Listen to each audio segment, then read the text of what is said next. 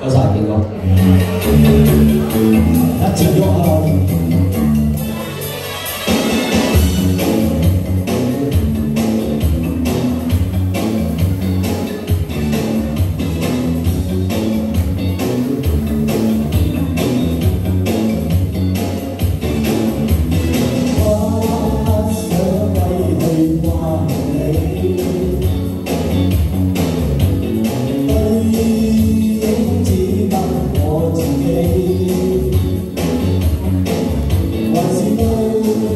Hãy